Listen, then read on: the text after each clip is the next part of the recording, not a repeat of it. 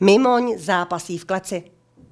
V současné době se rozvíjí bojové umění MMA neboli zápas v kleci. Naše město reprezentují v amatérských zápasech oktagonu Daniel Beran a Daniel Jaško, pro které se stal tento sport vášní. Za sebou mají několik zápasů, každodenní náročný trénink, spoustu odříkání. Děkujeme za reprezentaci a přejeme mnoho úspěšných zápasů. Pro dnešní reportáž jsme si vybrali opravdu netradiční místo, a to bojovou klec, kde se odehrává MMA. Kluci, co to MMA je? Uh, tak MMA je smíšený bojový sport. Uh, je to od boxu vlastně po brazilský jiu-jitsu až po nějaký wrestling a mhm, vlastně mm-hmm. takhle. Kdybychom měli odlišit ten box, kickbox a takovýhle bojový umění od tady toho, v čem se to tedy liší? Určitě se liší od toho, že vlastně soupeř může využít všechny, eh, všechny jeho vlastně bojové stránky. A určitě každý vyniká v něčím jiným, takže to je pro každého z nás výhodnější. Mm-hmm. Máme stand-up, je vlastně ten si drží uh, boj v postoji, potom máme wrestler, ten se vlastně snaží dostat boj na zem a pokračovat v něm. Potom máme, pak je grappler. Grappler vlastně se snaží soupeře uškrtit nebo utáhnout mm. na zemi. Mě by zajímaly i pravidla MMA. Potom jsou, jsou pravidla, jsou profi zápasy a amatérský. Mm. Naše zápasy, jako jsou teď amatérský, tak máme pravidla 3x3 kolo jedno. A vlastně nesmíme tam použít úder do očí, úder do genitálích, koleno na zemi, a jinak můžeme v podstatě všechno, mm-hmm. kromě kousání. Mm-hmm. A ty profi zápasy, ty vypadají jak? Profi zápasy, tam se vlastně můžou lokty plus uh, vlastně asi jenom lokty, pak nějaký jakože kopy do hlavy, údery, ale jenom v postoji, nesmí být tři body na zemi. A pak vlastně je ještě soutěž rizín a tam se může vlastně i kopat na zemi do hlavy a mm-hmm. prostě už tak nějak všechno komplet, krom prostě očí a genitálí. Mm-hmm. A časově jsou to zase tři kola po třech minutách? Je to buď to 5x3 a když je to o titul, tak je to 5x5.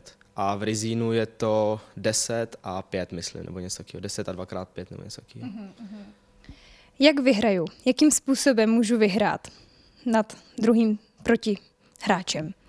No, buď ho dobře trefíme, nebo uškrtíme a potom ještě můžeme vyhrát na body.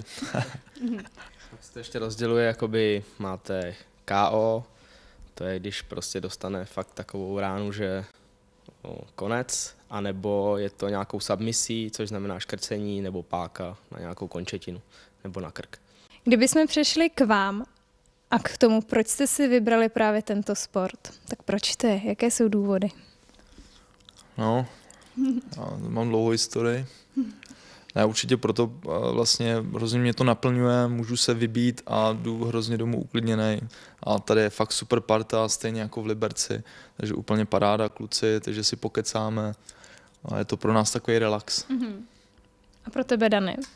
Jo, jako určitě, nevím, není to jako bezhlavý mácení, jak si třeba kdo myslí a je to, je to sport, no, prostě každý chce být dobrý v něčem. My jsme si vybrali tohle z toho a je to určitě zajímavější než třeba fotbal nebo tak pro nás. A super lidi, jako fakt úplně úžasný lidi, co jsme potkali zatím, co, se, co děláme tenhle sport. Mm-hmm. Takže paráda.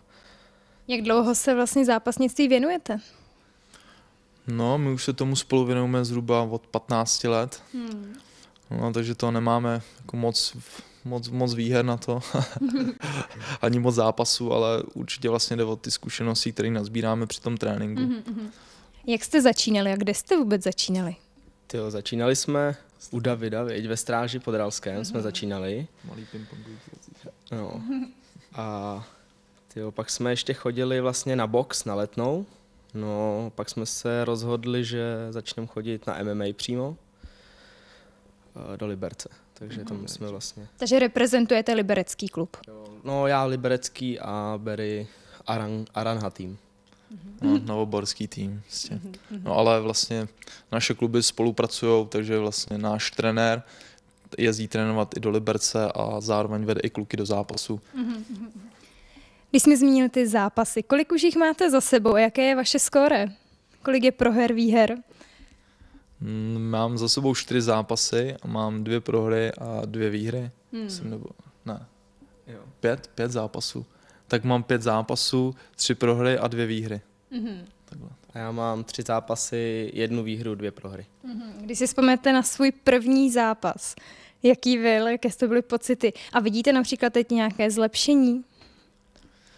Hmm, u sebe nějaký zlepšení určitě vidím v tom, že ta nervozita líp to člověk přijímá, ale i při první zápasem nepřišlo, že bych byl nějak hrozně nervózní, až vlastně ten moment, kdy člověk nastupuje do té klece a zavírá se, tak to jako fakt buší srdce, hmm. ale jak, jak, jak to padne, tak prostě všechno jde za hlavu a ani rána nebolí. Co tvůj první zápas? Oh, můj první zápas, no, jako byl jsem nervózní, ale jak říká Berry, až když jsem šel do té klece, tak to bylo nejhorší, no, ale vlastně po první ráně, nebo jakože to popadne všechno a už jako to člověk nevnímá ani, jenom vnímá toho soupeře vlastně, a že chce vyhrát. A pamatujete si na nějaký, já nevím, třeba velmi obtížný zápas, nějakého soka, na kterého nelze zapomenout? Um, určitě, jestli teda ještě můžu odbočit, tak nejtěžší na tom zápase je vlastně hubnutí. Nejvíc jsme hubli asi kolem 10 kilo, co jsem se zubnul do 14 dnů. Hmm. To byl fakt masakr, takže už si ze mě dělali srandy, srandu kluci, že fetuju. takže bylo taky, že jsem byl naštvaný z toho, že se nemohl jíst a oni si z nás dělali srandu. A vlastně můj nejtěžší zápas, který jsem nejhůř nes, byl proti Jakub Tichota. A tomu vlastně bylo 17 let, je výborný zápasník, furt ho respektu, ale prostě fakt to mě nejvíc jakoby naštvalo tohle. Taky si pamatuješ na někoho takového? Jo, měl jsem, měl jsem a jmenuje se Kukla Jakub a ten byl docela jakože obtížný. Byl teda starší, byl i zkušenější, ale jakože myslím si, že jsem na něj měl, no, a mohl jsem ho porazit. Jenom Příště. Příště, no, třeba jo. Mě by zajímalo, co vaše rodina na tento sport říká. Přece jenom říkáme, že tady spousta nebezpečí, tak jak se tváří třeba rodiče, hm, partnery, partnerky, kamarádi. Hm.